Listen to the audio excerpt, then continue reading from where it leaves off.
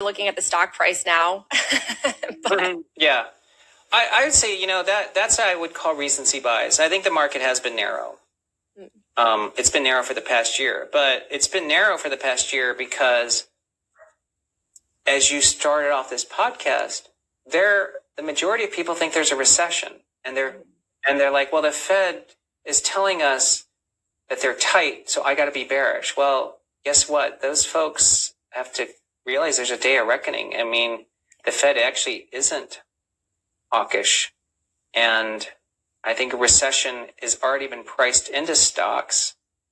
But if it doesn't happen, there's a huge, huge breadth expansion that's coming. Um, so I, I would say it probably isn't going to be a narrow market the next 12 months. I mean, I, I, I think people make chronic mistakes that they sell stocks when earnings are bottoming and they buy stocks when earnings are peaking. You know, you, you got to buy stocks when earnings are bottoming and you sell them when earnings are peaking.